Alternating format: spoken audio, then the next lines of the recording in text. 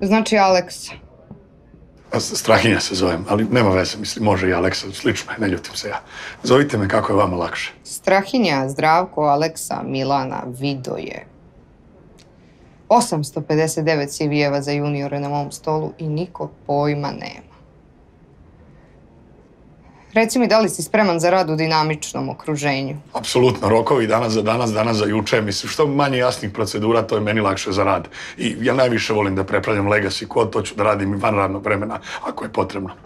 To se podrazumeva. Kakav si pod pritiskom? 120 sa 80. Šta si ti, neki komedijaš?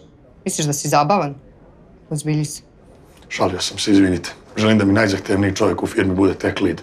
Želim da me maltretira non stop, samo tako mogu da postanem bolji čovjek i programer. Naš tech stack je malo outdated. Radit ćeš uglavnom na tehnologijama koje niko živ ne koristi. Angular, JS i Cobol, pa strava. Ja to najviše volim da radim. Ovaj, klesat ću kod na glinenim pločama ako treba. To, ništa mi to nije problem. Ja sam language agnostic, što se kaže. Da, zvučiš nadmeno, pored toga što misliš da si zabavan. Ajmo malo realnost, ipak si ti samo junior. Primite me, molim vas. 600 eura ne tražim više. Svi oni ne traže više od 600. Izvinjavam se. 550, ok? Ne, ne, lupio sam. 400. 400 i prijava na minimalac. Mislim, ne zbog mene, nego zbog vas, to zbog zakona.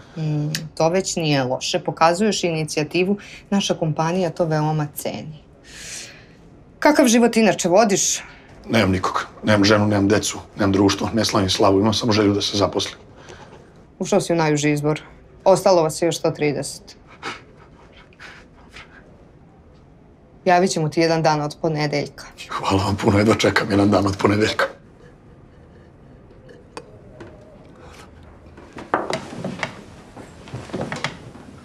Sljedeći.